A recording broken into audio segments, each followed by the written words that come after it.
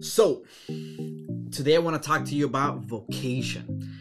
When I was still very young, um, I was born in the uh, in the country of Guatemala, and when I was still very young, I remember this man would come to our home and would look at every single one of us, the siblings, and uh, he would say, "Hey, you are going to be a doctor, and you are going to be a lawyer." And I remember clearly, I remember that he would look at me and would say, "Hey, but you are going to be a pilot." I don't know why, but this has stuck with me. This memory, it's always been there for me. This prediction is ironic because while I do like flying, I am afraid of heights. It's interesting, right? That as, I, as we grew up, we are constantly being asked this question What is it that you want to do when you grow up? I know I was. What are you going to do when you grow up?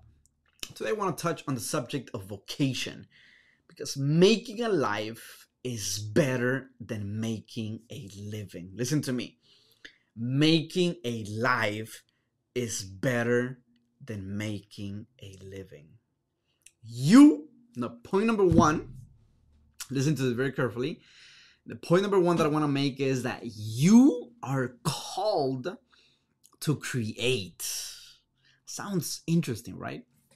Let's read Genesis chapter 1, verse 1 and on. All right, so if you can pick up your Bible wherever you might be at today, in the comfort or of your home, pick up your Bible and let's read Genesis. We're gonna open the first book of the Bible, Genesis chapter 1, verse 1 and on. And it says, In the beginning, God created the heaven and the earth and the earth was without form and void, and darkness was on the face of the deep. And the Spirit of God was hovering over the face of the waters. I want to stop there for a second. Notice here that when God approaches earth, it says that it had nothing in it except water. It had no form, that it was just darkness and not much to admire about it. God looks at it and it says to himself, let's do something about this. Let's fix this. Let's create let's get creative and transform this nothing into something amazing. And I can imagine the Lord rolling up his sleeve to get to work. So in verse 3 it goes on to say, then God said, let there be light, and there was light. Hmm. Here is God's first idea in the creation step light. And in verse 4, it says, And God saw the light that it was good. Mm.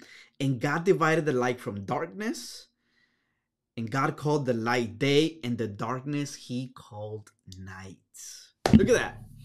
It actually I, can imagine. I can imagine uh, the Lord saying, "Man, light actually looks good." and that's all God did in the first day.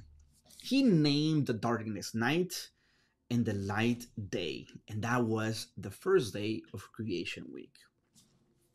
On the second day, he separates the waters above from the waters under and he makes the atmosphere. And on the third day, land appears. On the fourth day, the sun, moon, and stars appear. On the fifth day, all the animals of the water and birds of the air come to be. And on the sixth day, not only the animals of the land come to be, but also mankind. And I bring all of this up because I want to highlight highlight two things here. One, it's God creativity is in action during the creation week. He is the creator and he rolls up his sleeve to create, to work. Listen to me. All right, that's number one. And number two, verse 26 of chapter 1 of Genesis says the following. Listen to this. God said, Let us make man in our image and in our likeness. All right, let them have dominion over the fish of the sea, over the birds of the air, and over the cattle, over all the earth, and over every creeping thing that creeps on the earth. So God created man in his own image, and in the image of God, he created them, the Bible says. Do you know what this means? You and I been have been made in the likeness of the Almighty God.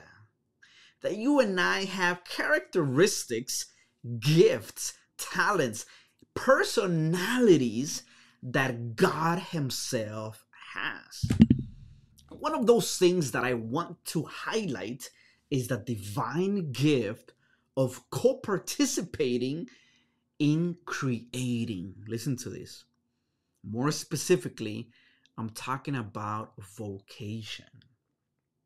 Did you know that you, when you post on Facebook, when you post on Instagram, YouTube, TikTok, Snapchat, and any other social media platform, do you know what they call you? They call you content creator. When I first saw that, that, that I was being addressed as creator, it kind of bothered me a little bit, you know? Because the first thing that came to mind was like, hey, excuse me, only God is the creator.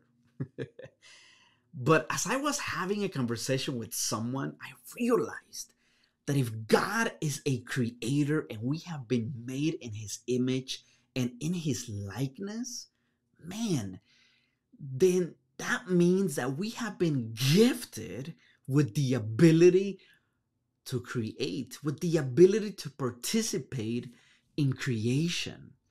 And with that gift comes a calling from God, comes your vocation. Let me give you an example. Let's look at Genesis chapter 2, verse 8.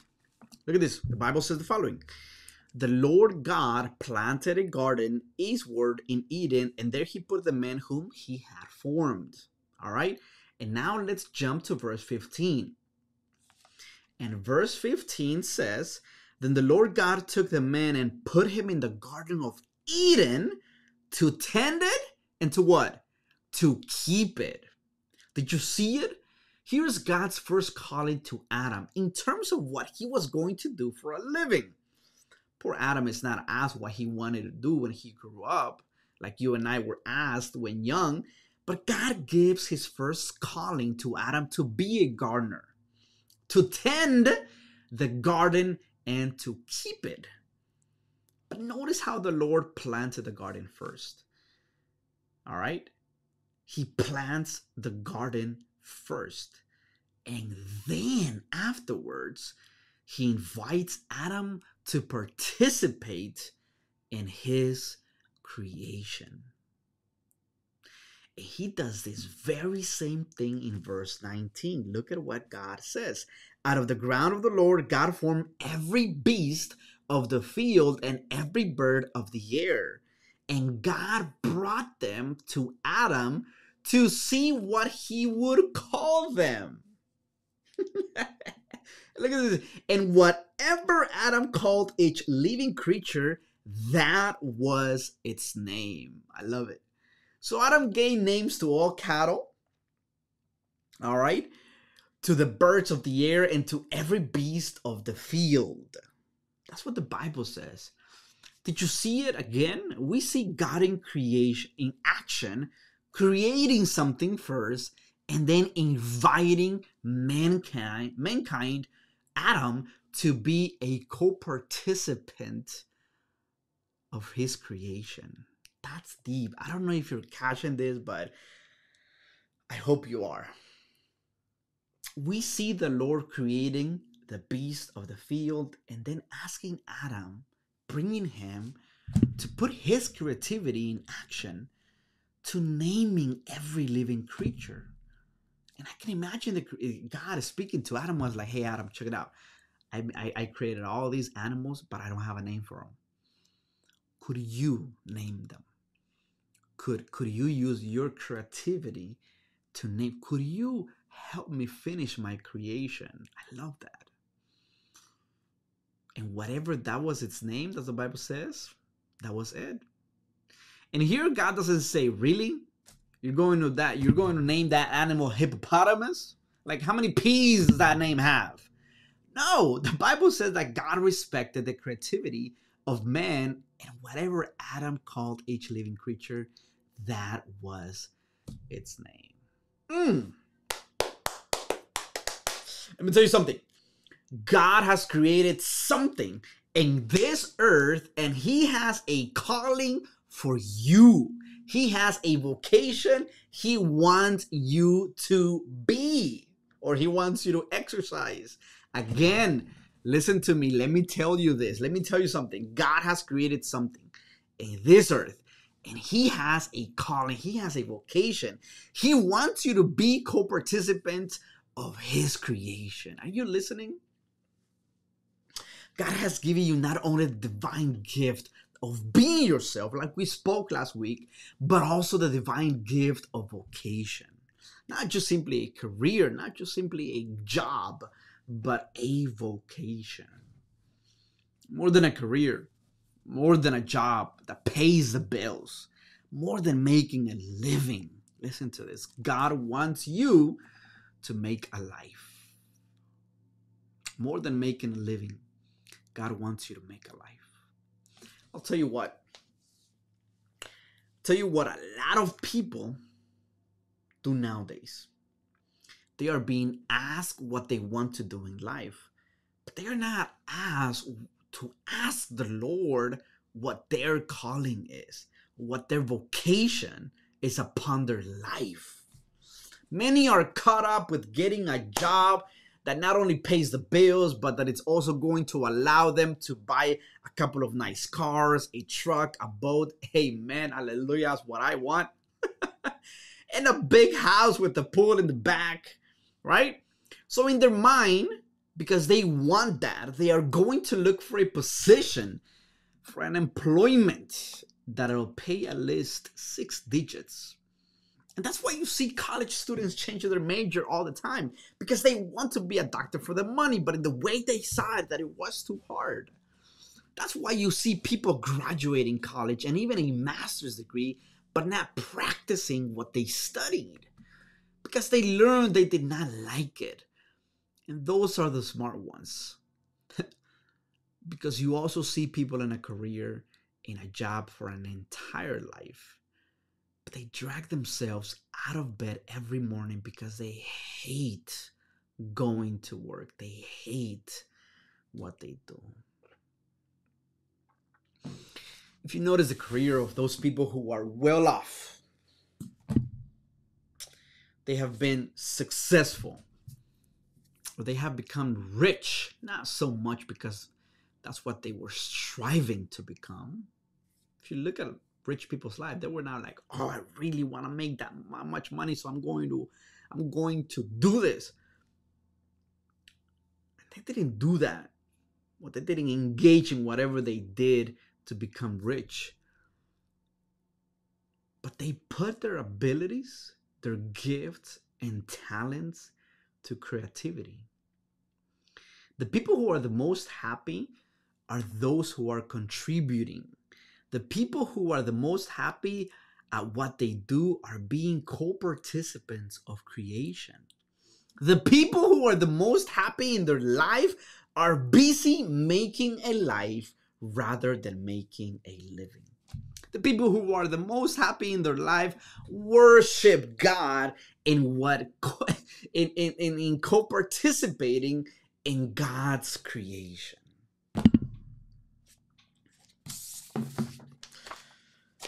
in his book, How to Fly a Horse by Ashton, he writes the following The first patents were issued in Italy in the 15th century. The modern US Patent and Trademark Office granted its first patent on July 31st, 1790. It granted its 8 millionth patent on August 16th, 2011. 8 million. The Patent Office does not keep record of how many different people have been granted patents. But one researcher has estimated that more than 6 million distinct individuals had received US patents by the end of 2011. And their numbers are increasing. The first million inventors took 130 years to get to their patents. It took only eight years to gather the latest million inventors.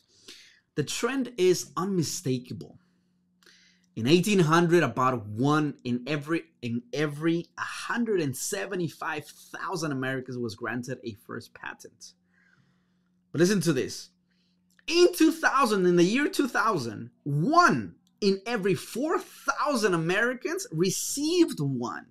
Mercy. Not all creations get a patent, right? Books, songs, plays, movies, and other works of art are protected by what? By copyright instead, which in the United States is managed by the Copyright Office, part of the Library of Congress. Copyright shows the same growth as patents. In 1870, 5,600 works were registered for copyright. In 1886, the number grew to more than uh, 31,000. And Ainsworth Spofford, the Librarian of Congress, had to plead for more space. And by 1991, there was one copyright registration for every 400 US citizens. That is crazy. After surveying these statistics, MIT professor Kevin Ashton argues that although you may not have a patent, listen to this. This is what I really wanted to get to. Creativity is much more common than we think. Ashton writes So when we start counting creators, we find that a lot of people create. Creating is not for an elite few. Mm, I'm going to say that again. Creating is not for an elite few. Creating is not extraordinary, even if its results sometimes are. Creation is human, he says. It is all of us. It is everybody. And you know what? I agree with I agree with Ashton. Creativity is human. But you know why?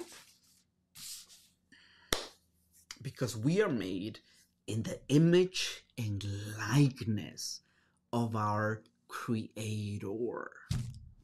We are called by our creative God to pursue creativity in our vocation, in our jobs. All right, I'm done with that. God has called you to create. God has called you to be participant, co-participant of his creation. You have gift and you have talent, and God has has a calling upon your life to put those things into a vocation. Not simply a, a, a job, not simply a career, and not simply to make a living, but to make a life. Number one, one thing that I want to leave with you. And number two, that's it. And I'm done here today, okay? I, I know you're crazy. You want to shut this down. I don't know what you're thinking, but I know God is speaking to you. Number thing, listen to this. Number two, number two, second thing. If you find yourself in your life that says, you know what? I think I have found my calling and I am living out my calling. I am living out my vocation. Let me tell you something. The second thing that I want to leave with you is the following there will be doubt D O U B T, doubt in the vocation that God has called you. Perhaps at the beginning, perhaps in the journey.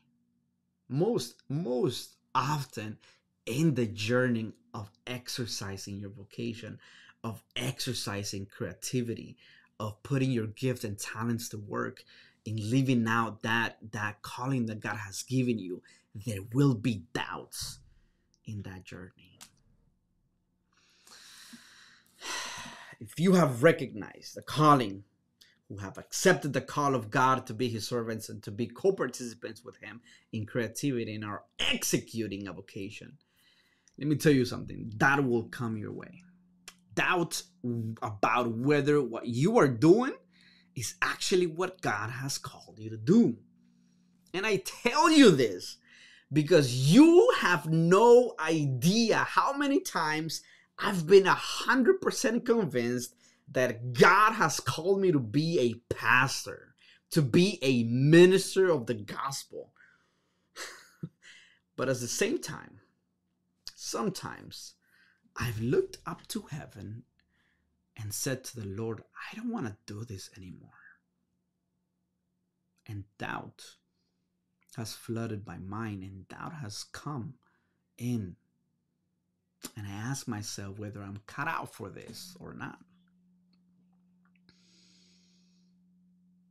Bible character that I can share this with, that I want to illustrate this with, is the story of John the Baptist. The story of John the Baptist comes to mind.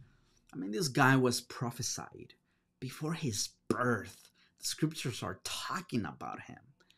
Him and Jesus' life is so alike. John is separated from God before his birth. He becomes a preacher and prepares the way for the Messiah. When John finally sees Jesus, he turns to his disciples and proclaims, Behold the Lamb of God who takes away the sins of the world. Let's look at it. You don't believe me, right? You're like, well, what are you talking about, Pastor? Come on, man. Let's go there. Let's go to John chapter uh let's see here. Yeah, chapter 1 John chapter 1.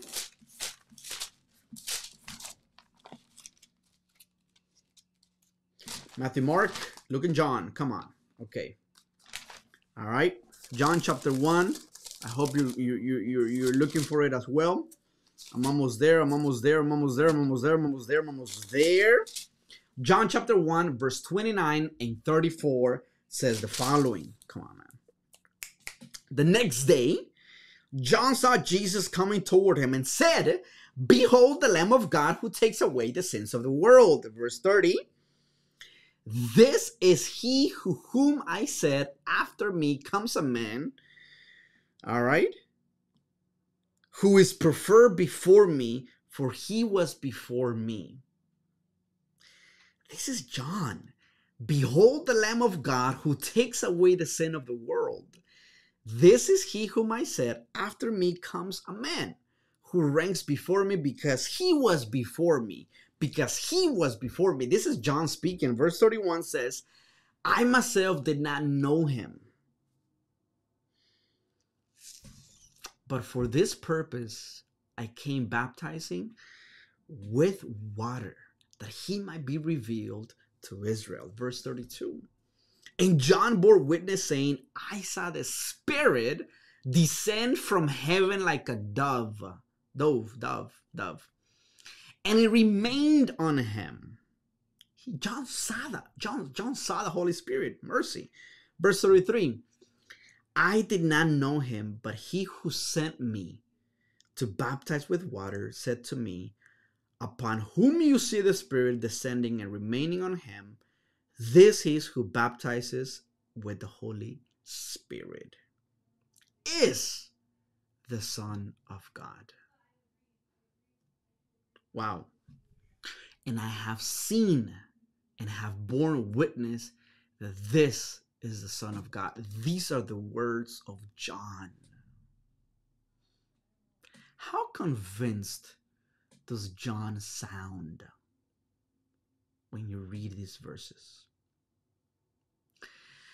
But eventually, doubt visits the life of John. And notice that doubt doesn't come when everything is come is going great in your life. Doubt does not come when everything is not going the way you hoped for. In your vocation, you will have highs, but you also have lows. And it is in those low moments that doubt knocks on your door and doubt visits John the Baptist. You know where? When he's in prison. when his freedom is taken away, when he's no longer preaching and baptizing in the Jordan, in his own words, when you go to Matthew, mercy, chapter 11, look at what Matthew chapter 11, verse 1 through 5 says.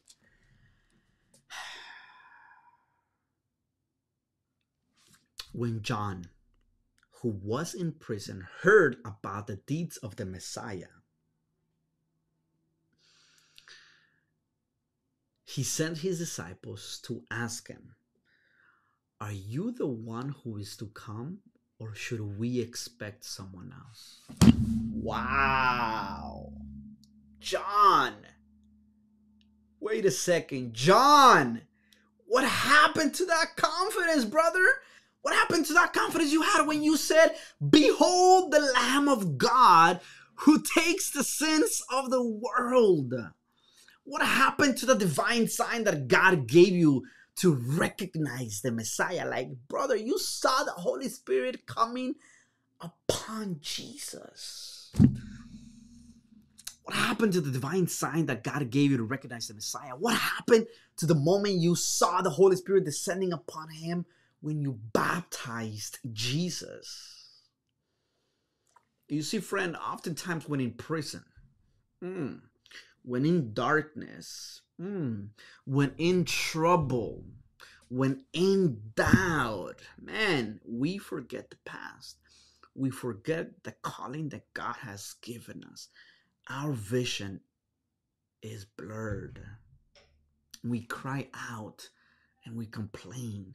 We stop creating. We stop participating in creativity. We start drawing away from the Lord. When that happens, when we allow sin to get in between us and God, doubt comes in we forget our first love. That's why Jesus says to the disciples, right? Go back and report to John what you hear and what you see.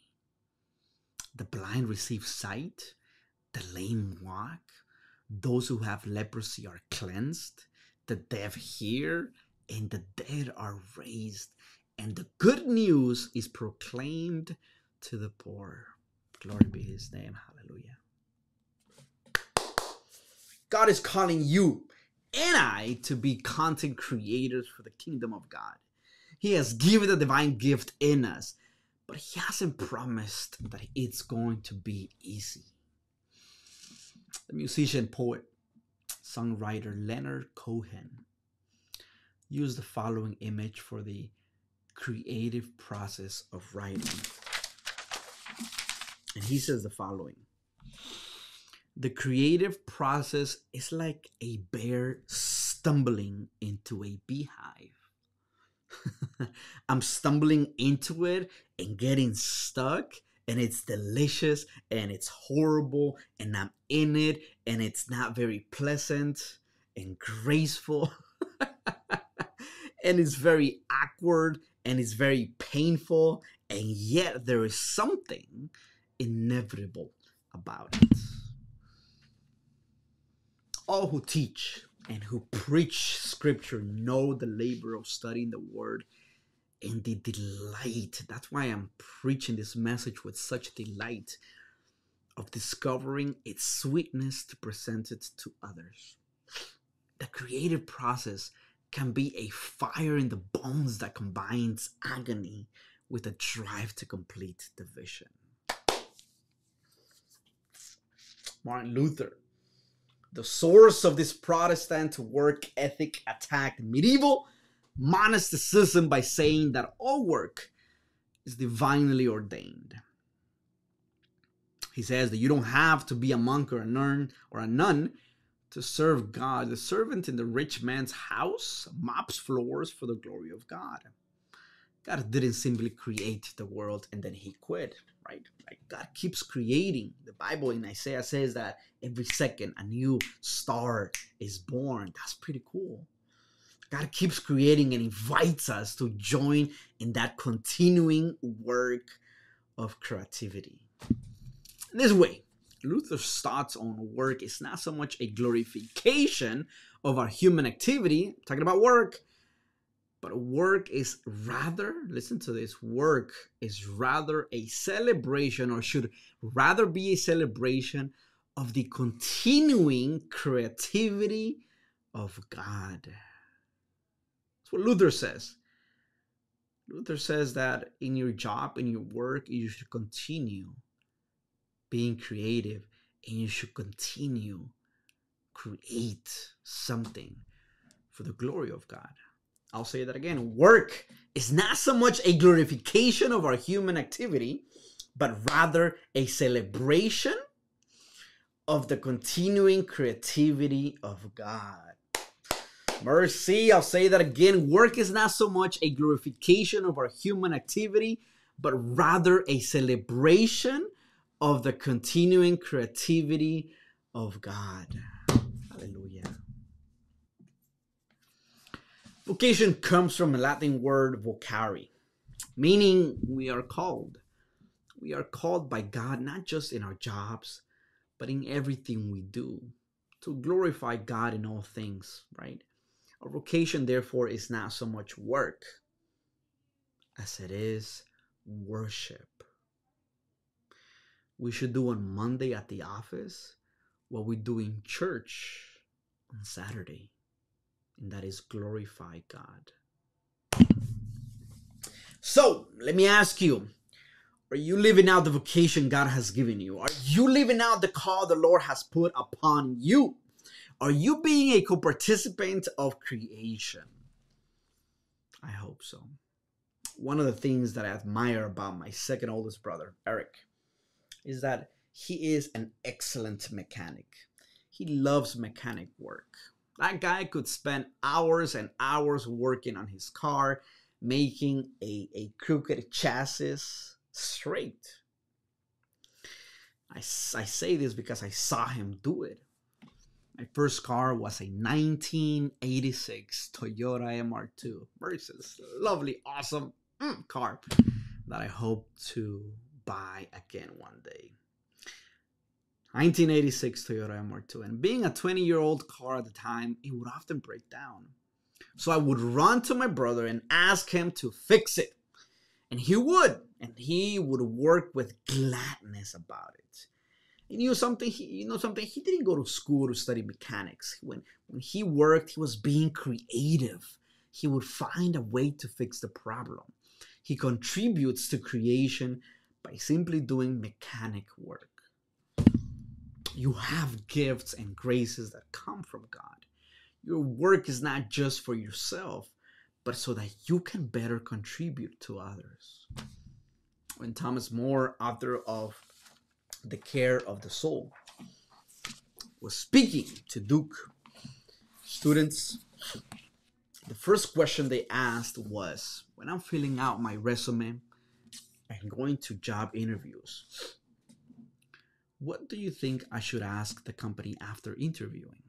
And Thomas Moore said, Your last question ought to be What are my chances for making really good friends here at this company? What will be the main place you'll be able to make friends? Right? He says, maybe the goal of work ought to be friendship. From a Christian perspective, your work has value, not because it contributes to your well being, but because it contributes to somebody else. My brother Eric, my brother the mechanic, to me is more needed than a brain surgeon. When he puts my car back on the road, I am grateful.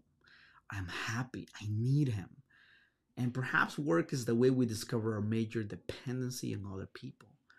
We are dependent every day on the kindness of strangers to help us get through life. We are a connected, we are in a connected web through through our work with other people. And let's not forget that work contributes to the mundane but utterly necessary activity of earning a living. I pray that you will learn early that your life is not just your work and that you will find a sort of work whereby it is possible to say, I hope that you can find a job, a, a, a, work, a vocation where you can say, This is a big part of my call from God, or this is a call from God. This is one way that I'm busy praising and glory God, glorifying God forever. And I pray you will be brought to that point where through your work, you will be able to say, Here I am, Lord. Again, I hope that you find a job where you're busy praising and glorifying God, glorifying God forever. And I pray you will be brought to the point where you where you through your work you can say to the Lord, Father, here I am, Lord. Use me for your honor and for your glory. Major points, the major things that God wants to say to you today is I've given you the ability, the gift, the blessing to create, to be co participants of my creation. Let's become partners. You have been made in the image of your Heavenly Father, of your Creator. And as that, man, you have so much potential to waste your life in a job that simply pays the bills, but where you're not making a life. The Bible says that before the foundation of this earth was set in place, that God thought of you. Before you were born, God thought of you. Let me tell you something. God didn't think of you and says, you know, well, let's let's figure, let's let him, let's let him or her figure it out. But God has made a plan for you, Jeremiah 33.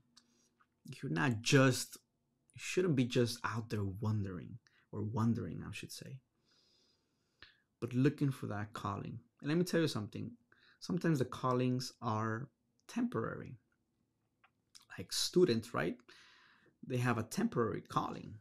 They are studying, they are reading books, whatnot. And that's their current vocation. So create because you have been made in the image and likeness of your Heavenly Father. And two, when doubt comes knocking on your door during your vocation, during your calling, look back. Look back. And remember the miracles and the blessings that God has given you. Let me pray with you. Father, thank you for this message, Lord. I pray for this person who is watching. I pray for my life, Lord. I pray for my vocation, the calling that you have given us, that we may execute it with gladness, that we may make a life more than simply making a living. Thank you, Lord, for listening to our prayers. In the precious name of Christ, we pray. Amen. Hey, believe it, live it, share it. God bless you. I'll see you next week on the third part, part three of this message series The Divine gifts that God has given you. God bless you.